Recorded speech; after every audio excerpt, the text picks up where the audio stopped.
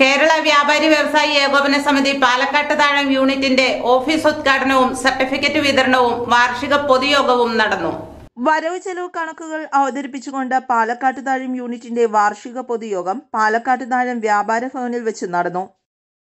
തദവസരത്തിൽ ഓഫീസിന്റെ ഉദ്ഘാടനവും അംഗങ്ങൾക്കുള്ള സർട്ടിഫിക്കറ്റ് വിതരണവും നടന്നു.